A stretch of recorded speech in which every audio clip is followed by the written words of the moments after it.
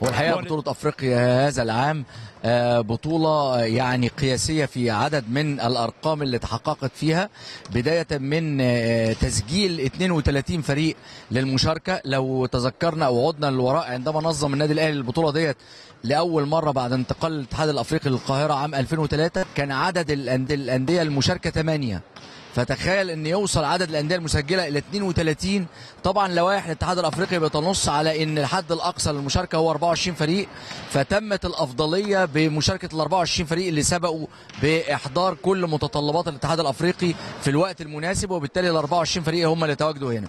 يمكن الحاجة الوحيدة المؤثرة في هذه البطولة هو غياب الأندية التونسية. يعني لو تواجد نادي أو ناديين من الأندية التونسية وكان متوقع يشترك آه، فريقي الترجي والنجم الساحلي ودي من الأندية البطلة قبل كده. الترجي فاز باللقب أربع مرات قبل كده والنجم الساحلي فاز بيه مرتين. لو اشتركوا كانت ممكن نطلق على هذه البطولة هي الأقوى على الإطلاق آه، في تاريخها منذ بدأت عام 1980 وعلى فكرة في سنة 1980 النادي الأهلي كان أول فريق ينظم البطولة ديت ونظم البطولة وفاز بيها لأول مرة في عام 80 وقتها. الناحية الفنية الخاصة بالبطولة رأيك فيها إيه؟ هو بالنسبة للناحية الفنية إحنا وصلنا إلى النهاردة لنهاية الدور الأول. خلاص تحددت الثمان أندية اللي هتصعد إلى دور الثمانية. والحقيقة باستثناء خروج نادي أولمبيك الجزائري والجزائر يعني من الدول العريقة في الكرة الطايرة في أفريقيا باستثناء خروج أولمبيك الجزائري أولمبيك مليله فإن كل القوى الكبرى اللي هي الأفضل في الدور الأول هي فعلا اللي وصلت إلى دور الثمانيه وصل الأهلي والسجون الكيني من المجموعة الأولى وهم الأقوى فعلا في المجموعة الأولى. حتى سبوار اللي هو كان ثامن البطولة الماضية الكونغولي آه، يعني كان أقل في المستوى من بريزون وبالتالي العدالة هو وصول الأهلي وبريزونز حتى قبل أن يلتقي النادي الأهلي مع آه، سبوار النهارده في ختام الدور الأول. بالنسبة للمجموعة الثانية نادي الطيران ونادي السواحلي هم فعلا الأقوى. كلا الفريقين فاز بكل مبارياته مباراتهم النهارده فقط لحسم من هو آه، على المق... في المقدمة. المجموعة الثالثة وفيها سموحة وفيها أيضا أهلي بني غازي الليبي الاثنين هم الأقوى وهم الأفضل يعني بالعدالة هم الأفضل وهم ال- يعني اللي وصلوا بجدارة من المجموعة الثالثة. نوصل المجموعة الرابعة اللي وصل فيها الجيش أيضا و GSU من كينيا.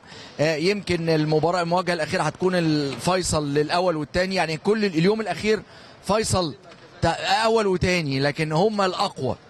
النقطة المهمة برضو فنيا اللي إحنا نقولها إن بما إن طلائع الجيش آه، في الغالب هيفوز على GSU لأن هو أقوى بكتير من GSU النادي الكيني.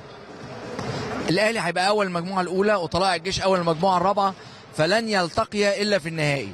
وكل الخبراء والمتابعين للبطولة بيقولوا إن الأهلي والجيش هم يعتبروا الأقوى في البطولة ديت وهم المرشحين للوصول النهائي. الأهلي والجيش على فكرة كانوا التقوا قبل كده في النهائي عام 2011 في نفس الصالة ديت وكان برضو النادي الأهلي هو المنظم وفاز وقتها النادي الأهلي 3-1 وخد اللقب. هذه المرة الأهلي والجيش عندهم منافسة قوية جدا بالذات من الأندية الليبية السواحلي نادي جاي بقوة جدا وعندهم اتنين محترفين هرنانديز من كوبا وآدم اسلاتي من تونس لاعبين مميزين جدا ونادي أهلي بني غازي أيضا من الأندية القوية والأندية اللي قدمت عروض كويسة. فأنا شايف إن المنافسة آه، بين الثمانيه الكبار هتكون قوية جدا حتى المباراة النهائية. رأيك بقى في الناحية التنظيمية وتنظيم النادي الأهلي للبطولة؟ الحقيقة دائما عندما ينظم النادي الأهلي بطولة دائما بتكون في قمة النجاح. الحقيقة آه، النادي الأهلي نظم البطولتين سيدات اللي انتهت منذ أسبوعين تقريبا وفاز بيها النادي الأهلي وبينظم أيضا بطولة الرجال. لو نلاحظ إن آه، آه، التطور الهائل في التنظيم حتى ما بين بطولة السيدات وبين بطولة الرجال. يمكن مجلس الإدارة عندما حضر بقيادة آه، كابتن محمود الخطيب. وكل المجموعة يعني الحقيقة اللي بتد- بتدعم الكرة الطايرة بشكل كويس جدا. بعد ما تولوا مجلس الإدارة آه، يعني قرروا كده حاجة آه، إيجابية جدا إن يكون في دور كبير للشباب في التنظيم. فعدد كبير من الشباب. مجموعة الشباب ديت كانت بتمثل على الأقل 60% فلما نظموا بطولة السيدات بدأ يبقى في إيه آه خبرات عند الناس ديت فبطولة الرجال ظهرت. فتنظيم بطولة الرجال الحقيقة في قمة النجاح.